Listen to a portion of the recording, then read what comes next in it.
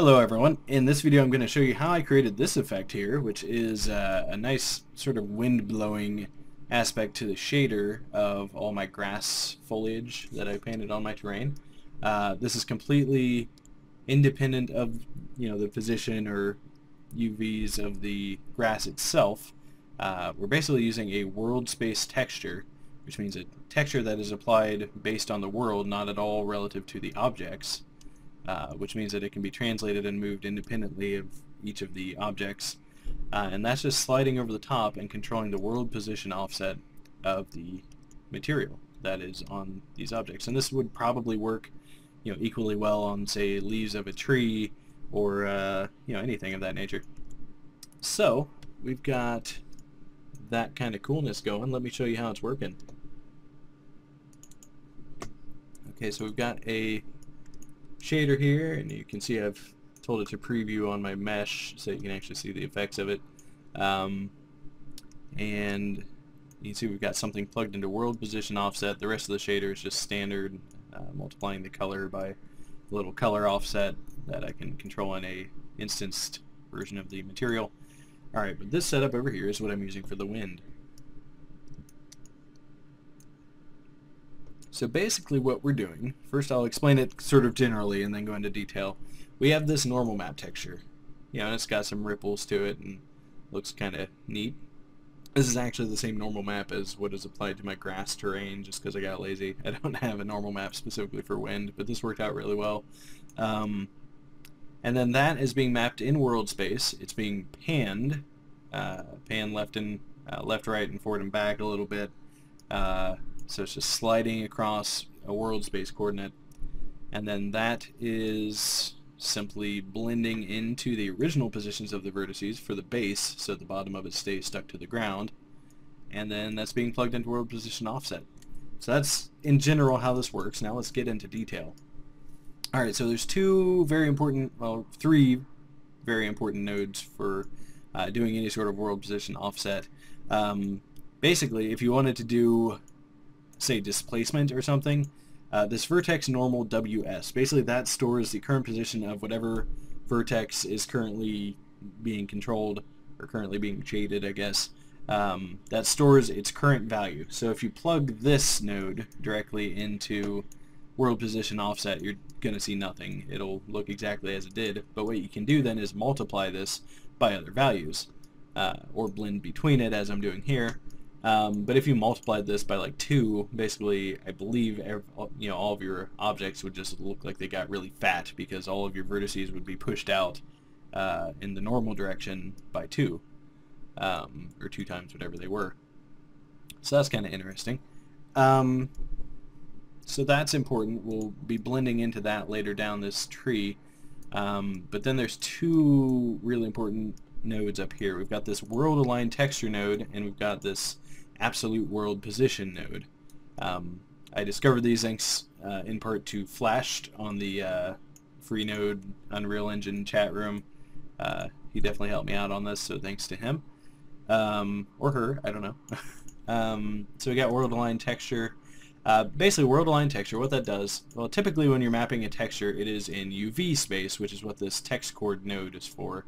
Um, that would be, you know, if you're looking at your your standard static mesh here and you look at the UVs, that's telling it how the texture is mapped to the uh, to the mesh. And you can definitely do displacements or world position offsets based on UV space, but it gives you a different effect. And it's gonna the big problem there is it's going to be the same for every single instance of that uh, that mesh because they all have the same UVs. Um, so by using world space, that allows me to sort of get all of these distorting independently based on a sort of global texture that's moving across this whole plane. Um, oops, wrong window. Let me go into my material again here. Alright, so that world position, or sorry, this uh, world aligned texture, all this is doing is it's mapping this normal map in world coordinates, which means when I run a panner on this, it's actually sliding it across the world, not necessarily across the UVs like it normally would be. Uh, and really this panner is not really made, as far as I can tell, to work with world position type stuff, but for this particular scenario it works perfectly. Alright, so then we have this absolute world position, and that is storing the current uh, world coordinate of the area that I'm shading, I guess. I honestly don't quite get exactly how this is storing its information or what I'm editing here. Um, but suffice to say, this is storing the world position. Alright, so we're taking that, um, and then what I wanted to do is I wanted to pan this texture in two of those dimensions, uh, but I had a vector 3 here. This is storing x, y, and z values, so left, right, forward, back, and up and down. And I really didn't need the up and down, which is stored in the Z channel. So I split off the Z channel, which in this case it's calling RGB, so X, Y, Z. We're splitting off Z here, and I just ignored that for the time being while I set up my panning, uh, which allows the panner to work because that only works with vector 2s, which is what a typical TexCoord would be. Alright, so I just uh, split that off and then I recombine just the red and green values or the X and Y, depending on how you want to look at it. Alright, then we're running this panner. I'm telling it to pan you know, 60 and 160, pretty big values. Um, there's a lot of really big values in this just because you're dealing with the whole world. Um, so uh, I'll show you that on the scale too is insanely huge. Um, and then after I do my panning, I'm simply plugging back in the original Z value um, just because I needed something there. I probably could have plugged a zero in there too, just a constant, I don't know. But for whatever reason, I just put back in the original one. Uh, didn't feel like messing with it. Alright, now we have this world aligned texture node, which, as I said, maps a texture in world space.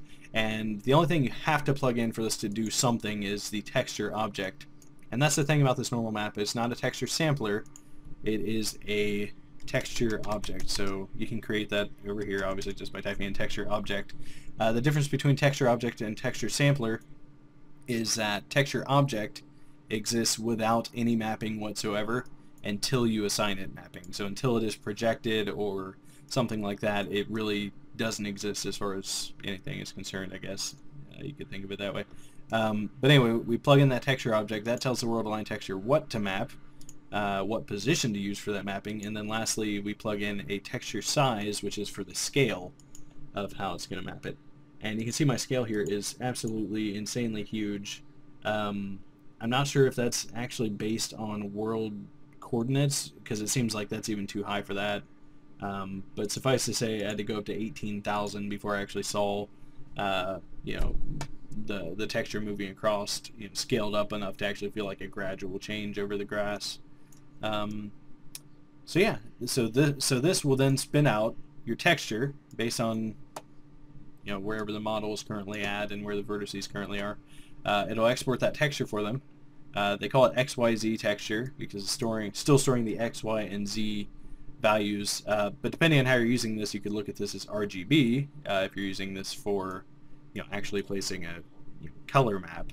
Uh, in this case, I'm using it for world position offset, so XYZ makes sense, but um, you know, channels just hold data. That data can be for anything, really.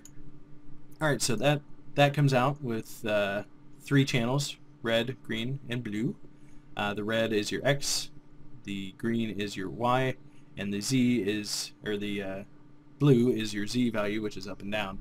Now for my purposes, I didn't want to distort my grass up and down, so I cut out the blue channel entirely. I, I masked this to just red and green, so we've already just deleted the blue channel right there. And then I go and append just a zero to this because all of my texturing does require actually having three channels of color. So after I did that, I just appended a, a nullified uh, Z there, or blue channel. I just multiplied everything by 16 to make it a really strong distortion effect. And then I plugged that into a linear interpolate node, or LERP, which you can create just by holding down L and clicking, by the way. Um, and basically this is blending between that nice distortion map that I created and my original position, which is stored in vertex normal WS, as I explained earlier. Uh, and we're blending between those based on a gradient, just a simple gradient. And the gradient itself is in UV space uh, because we want you know, the base of this uh, to have no distortion and the top to have full distortion. And my UVs are laid out such that you know, a vertical gradient from bottom to top would put 0 on the bottom, 1 on the top. Uh, so that worked out pretty well. Um, so all I had to do is plug that into V gradient, which is a vertical gradient, U gradient is a horizontal, and that's it. So then we'd simply take the output of that, and if we want to look at that real quick, let's look at what that's actually exporting here, or what that's sending to the world position offset. Now the it's going to look like it's glowing because I had to multiply my values by so much here. Uh, if I were to unplug that, uh, you'd see it looking a little more normal. There you go. So this is really what it's getting as far as uh, position offset, but you'll notice the base of this object never changes color, and that's because it's just colored based on its current position, and that's how it's staying. Um, these up here are getting a lot of distortion. Alright, so let me plug that back in how it was. Go ahead and hit apply. So yeah, then we just plug that into world position offset, you know, apply, save, and you get a really cool um, distortion effect going over the top of them. Now, like I said, this isn't perfect. Some of these things bend in really weird ways, and I'm not entirely sure how to uh, combat that, um, short of just having shorter grass. But, uh, yeah, I mean, this works pretty well for simply just being a shader trick. I think it's uh, pretty cool. Uh, now, if you wanted to do something like, oh, let's say seaweed uh, going around underwater or something, you could actually, you know, keep this, you, you could get rid of this stuff here, keep the, uh, the Z value going as well, and that way as it's panning, you'd actually get up and down motion as well, um, which might be good for really long objects. And you can actually add in,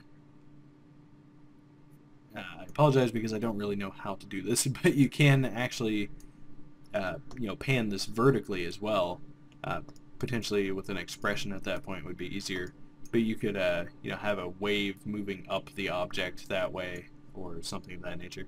So, I don't know, there's a lot of things you can do with this sort of solution. So, hopefully this has been useful to you guys. Uh, if you have any questions, hopefully I'll be able to answer them, but just leave them in the comments below. I am still very new to this, so no promises.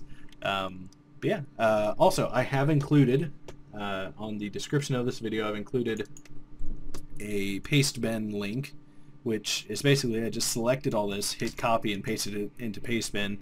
And what you can do then is load that page up, uh, hit Control A to select all the text, hit Control C to copy, and when you do so, you will simply be able to go into your own material uh, material editor and hit paste, and you'll get my whole tree, and you can see how I set it up. The only thing that won't come in, obviously, will be my normal map. You'll have to set that up yourself.